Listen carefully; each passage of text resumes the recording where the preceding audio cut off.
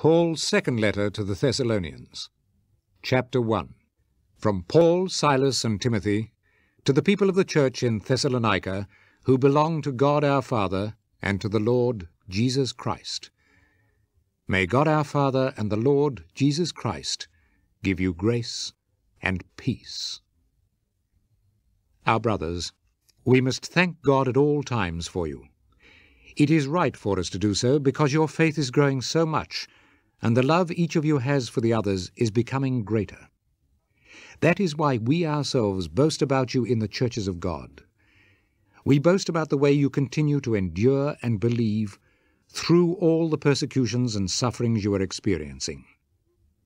All this proves that God's judgment is just, and as a result you will become worthy of his kingdom for which you are suffering.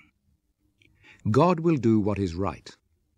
He will bring suffering on those who make you suffer, and he will give relief to you who suffer and to us as well. He will do this when the Lord Jesus appears from heaven with his mighty angels, with a flaming fire, to punish those who reject God and who do not obey the good news about our Lord Jesus. They will suffer the punishment of eternal destruction, separated from the presence of the Lord and from his glorious might, when he comes on that day to receive glory from all his people and honor from all who believe.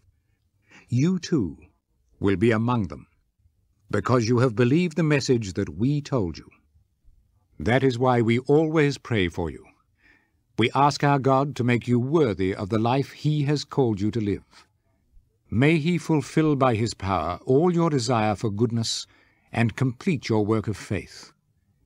In this way the name of our Lord Jesus will receive glory from you, and you from him, by the grace of our God and of the Lord Jesus Christ.